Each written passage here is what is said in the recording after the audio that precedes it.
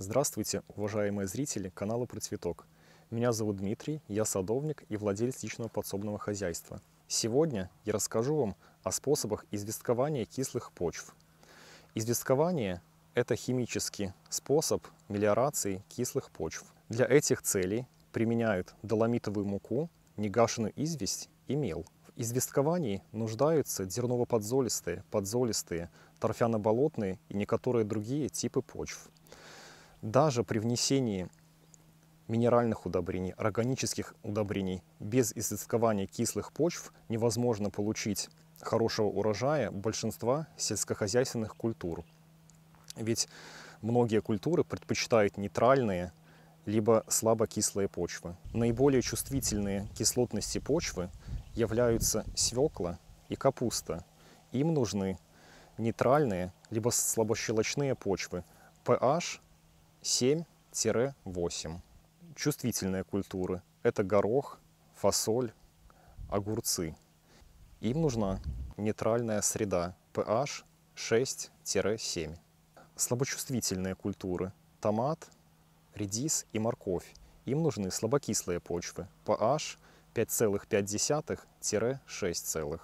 Полезное влияние известкования проявляется не только снижением кислотности почвы, но и усилением и мобилизацией потребления питательных веществ из почвы, а также улучшением потребления азота. Эффективность известкования зависит от выращиваемой культуры, дозы внесенных известковых удобрений, а также потребности в известковании.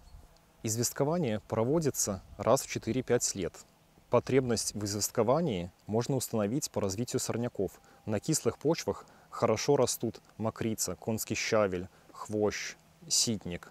Если данные растения поселились у вас на грядках, значит вероятность, что почва кислая, очень велика. Но точную кислотность можно измерить с помощью приборов. Это специальные приборы для установления кислотности почвы, либо можно еще применять лак лакмусовые бумажки. Известкование проводится из степени необходимости. При pH 4,5 необходимость очень сильная. Если использовать для известкования доломитовую муку, то ее нужно внести до 50 кг на сотках. При pH от 4,6 до 5, нуждаемость в известковании средняя. Нужно вносить до 45 кг доломитовой муки на сотку.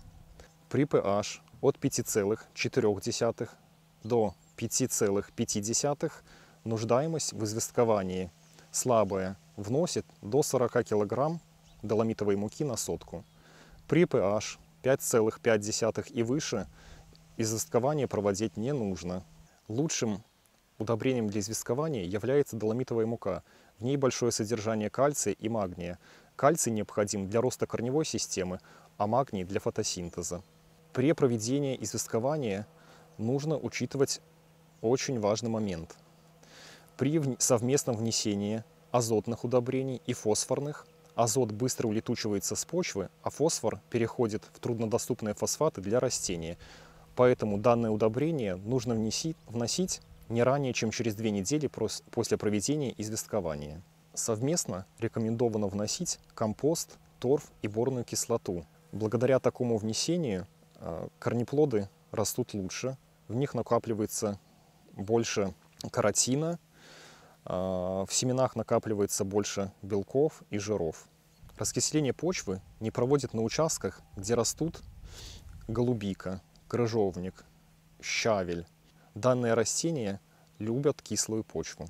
Если у вас кислые почвы, обязательно проведите известкование. Данная процедура повышает урожайность в разы, а самое главное, это не влияет на окружающую среду и безопасно для здоровья человека и для растений. Спасибо за внимание.